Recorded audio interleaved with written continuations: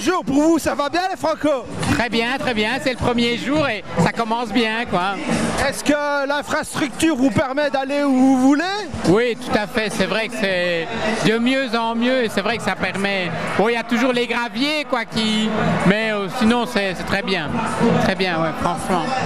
Le personnel euh, vous aide? Et oui, mais même, enfin, en, en- en- en- en majorité, euh, tout le monde est sympa, qu'on on fait des rencontres, des, des gens qu'on n'a plus vus depuis et qu'on a vu qu'une fois et qui, nous disent bonjour, quoi. Vous avez des espaces euh, spécifiques et vous voyez bien le- les groupes et tout tout à fait.